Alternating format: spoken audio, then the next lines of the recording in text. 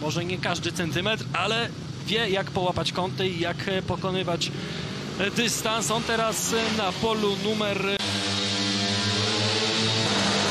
Taśma w górę, dobrze, Buczkowski całkiem przyzwoicie, Pieszczek i co? I Pieszczek mknie do przodu, ależ tam ciasto! Oni wszyscy są razem i to może się zmienić! oj, Oj, oj, oj, oj, oj. oj, oj. Au, ależ ten motocykl poleciał! Oj.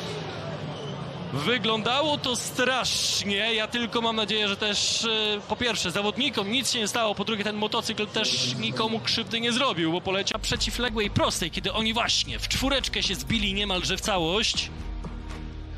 Tak, ewidentnie. No tak, tutaj O. najgorzej wydaje mi się oberwał jednak Pieszczek, bo on się absolutnie nie spodziewał. Właściwie w tylne koło wjechali mu.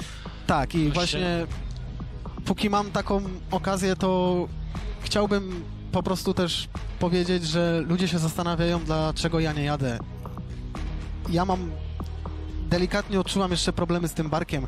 W takiej sytuacji, gdybym to ja był i ten bark by mi wyskoczył, stałoby się dokładnie to samo. I po co ja miałbym później słuchać, że, że czy ja chcę komuś zrobić krzywdę?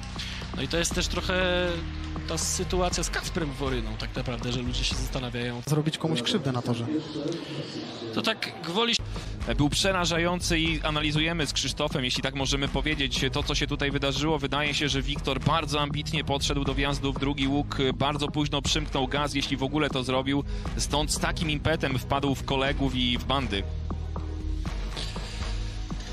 To widzimy powtórkę. Yy, tutaj jego motocykl złapał ogromną przyczepność, ściągnęło jego ciało do tyłu, wyprostowało ręce, wyprostowało prawą rękę, która jest na manetce gazu.